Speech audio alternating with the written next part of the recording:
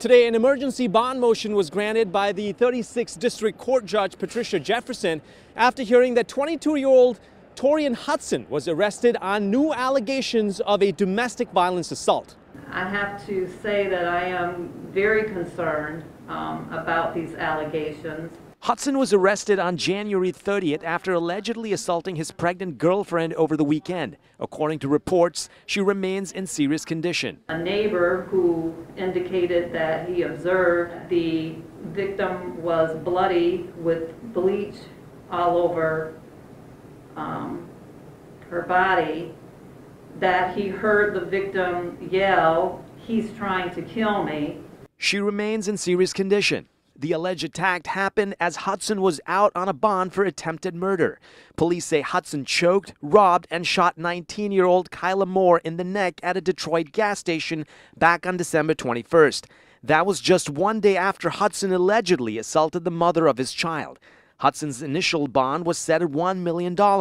However, it was lowered to $250,000 cash or surety by Judge Larry Williams Jr. Hudson was able to post bond after that.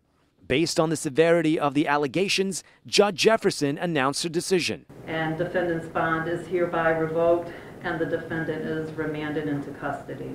I shared the news with Kyla's mom, Keita Moore, and she was relieved to hear the decision. Um, it brings me great solace to know that he is um, back behind bars and he can't be out here victimizing other young girls. Keita also called her daughter right away to share the news. After hearing this news that his bond has been revoked, does that give you a sigh of relief? Yeah, I feel safe. Meanwhile, Keita would like to see a policy change when it comes to reducing bonds for violent offenders. It's not out. His bond was not lowered by this judge. This victim wouldn't be fighting for her life as my daughter was fighting for hers.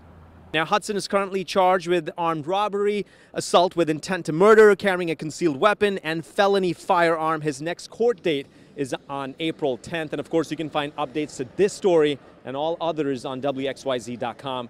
Reporting in Detroit, I'm Faraz Javed, 7 Action News.